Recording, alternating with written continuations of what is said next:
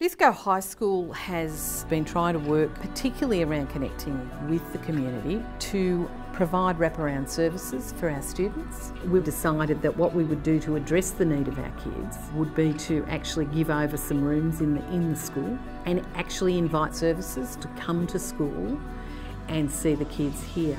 We live in a very disadvantaged community, so there are a lot of um, people experiencing ongoing trauma, um, stress, uh, mental health issues. So it's a really wonderful thing for us to be able to address those issues while the kids are at school. It's just a great resource for um, young people who are struggling, might have problems at home. Like it, it becomes a safe place for them.